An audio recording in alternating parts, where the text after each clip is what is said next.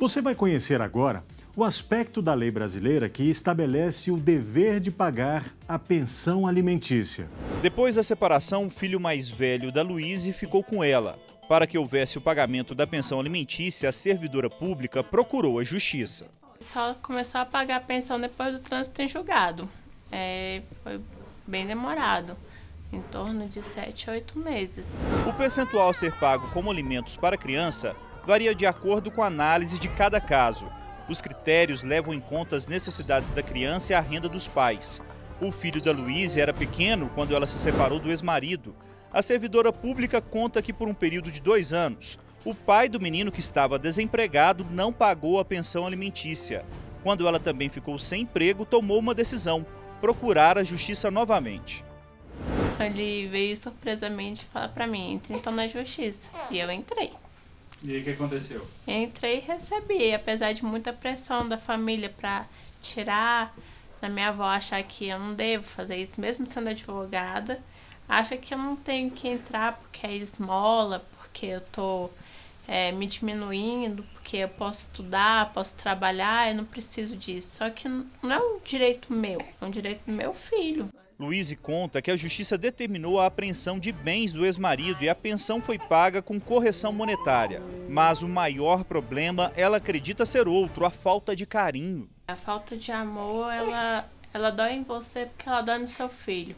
Não tem como a justiça impor uhum. o amor, né? Formação de carinho, formação de vínculo, né?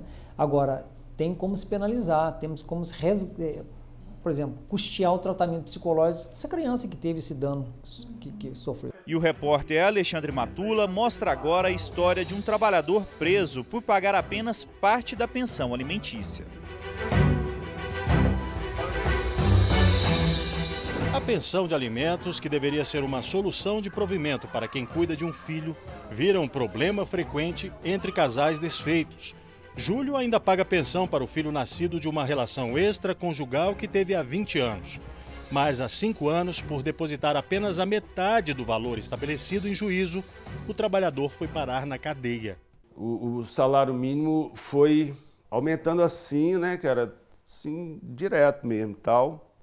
Aí ficou alto, ficou muito alto. Para quem não pode continuar a pagar o valor definido na justiça ou quer aumentar o valor recebido, a alternativa de pedir a revisão desse valor.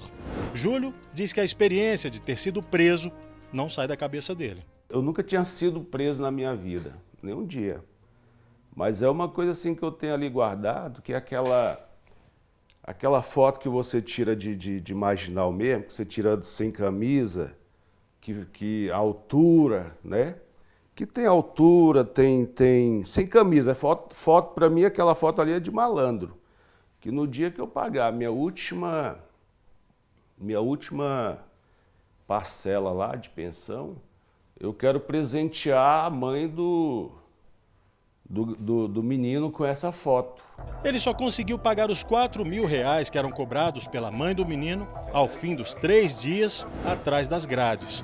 A prisão civil do devedor de alimentos é permitida pela Constituição Federal e aceita na Convenção Americana de Direitos Humanos.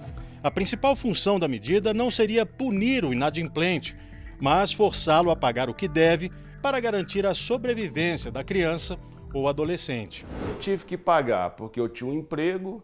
Se eu ficasse lá, se, se eu não, não desse um jeito e eu ficasse lá até meu emprego, eu perderia por quê? Porque eu ia ficar preso em nenhuma empresa que é um preso, né? É, é, é, um empregado dela preso lá. Então, vai eu me demitir. Hoje, a pensão é descontada diretamente no salário que Júlio recebe da empresa onde trabalha. Você acaba relaxando, então lá a empresa já desconta e tal. Então a melhor coisa para mim foi isso. Luísa, Isabela e a cachorrinha Fox Terrier, Amelie, Assim ficou a família depois que o casamento de quase 10 anos de Luísa terminou. Mas a empresária faz questão de não estar sozinha na educação de Isabela. Para formar um adulto equilibrado, você tem que ter uma boa relação com pai e mãe. E eu acho que a convivência é que traz essa boa relação. Então, é, eu sempre frisei isso, sempre falei essa frase para o Thiago, que eu faço questão que a Isabela seja um adulto equilibrado, que tenha um bom relacionamento, um, um relacionamento harmônico com ambos.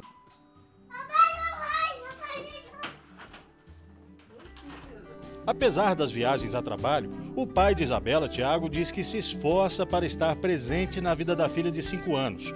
Os laços de casal, desde a separação há dois anos e meio, se tornaram laços de uma convivência harmônica com Luísa. Aqui, a guarda de Isabela é compartilhada. Foi de comum acordo quando a gente começou a fazer a papelada da, da separação, a gente entendeu que fazia sentido ter essa divisão, até porque minha família inteira é de Santos, então por natureza, se fosse só um casamento, eu teria naturalmente voltado para São Paulo, para Santos, para ficar próximo da família. Mas eu acho que o, o, elo do pai e filho não tem como. Então agora minha família é aqui com a Isabela e a gente fez esse combinado para não ficar só finais de semana, né? Para conseguir ter uma, uma vida junto com ela e participar do dia a dia, não só coisas pontuais de final de semana. A partir do momento em que a guarda é compartilhada como regra, e isso tem que caminhar nessa direção, quando os pais tem que se sentar e resolver o litígio entre eles, eles têm que pensar como eles vão conduzir o bem-estar daquela criança. E vão tirar também do, do, colo da criança a responsabilidade de decidir pelo pai ou decidir pela mãe. Então, eles vão ter que sentar e resolver. E a guarda só não será compartilhada em casos extremados, quando realmente for impossível a convivência mais, mais, mais constante com um dos pais. A boa relação de Tiago e Luísa só traz ganhos para Isabela. Isso ajudou, inclusive, na adaptação à casa do pai. Uma psicóloga foi chamada a ajudar é, ela tinha dificuldade de entender essa quebra, né? Porque ela tinha dois anos e meio, né? Então, assim, ela tinha um vínculo muito grande comigo. E para ela pra explicar para ela que ela ia ter que dormir longe de mim, se deslocar, ir para uma casa nova. Então, isso tudo é muito impactante para uma criança. Então, a gente tem que ter muita paciência, ler muito, estudar, se informar. Isabela hoje mora com a mãe e fica nos fins de semana e pelo menos uma noite na semana na casa do pai. A pergunta que fica agora é: e quando surgir uma namorada do pai? É, eu acho que assim, no começo, eu acho que é mais o um impacto pro, pro casal. Eu acho que quando você coloca uma nova pessoa no meio do relacionamento, você tem que ter certeza de que aquilo dali é algo é um, mais permanente, né? Não é somente um, uma paquera, uma coisa nova, porque isso acaba influenciando. Você está trazendo uma nova pessoa para o relacionamento com a sua filha. Para mim é mais fácil. Eu quero estar com meu namorado, mas também quero estar com minha filha. Então, ah, mais fácil trazer os três juntos. Não, você tem que pensar, conversar com seu namorado e dizer, olha, eu tenho uma criança pequena envolvida nessa situação e eu preciso é, que você compreenda. Então, a gente vai fazer o seguinte, vai passear com ela, passa o dia com ela, à noite ela dorme na, na casa da mãe dela, do pai dela. Isso tem que ser muito gradativo, tem que ser uma coisa bem pensada, bem elaborada, porque a cabeça da criança está em formação. E assim, Tiago e Luísa dão uma lição de maturidade e provam que a guarda compartilhada deve dar certo. Mesmo separados, podem estar juntos na educação de Isabela. O repórter Justiça fica por aqui, mas a gente volta na próxima semana com mais um assunto que certamente vai ser do seu interesse. Tchau!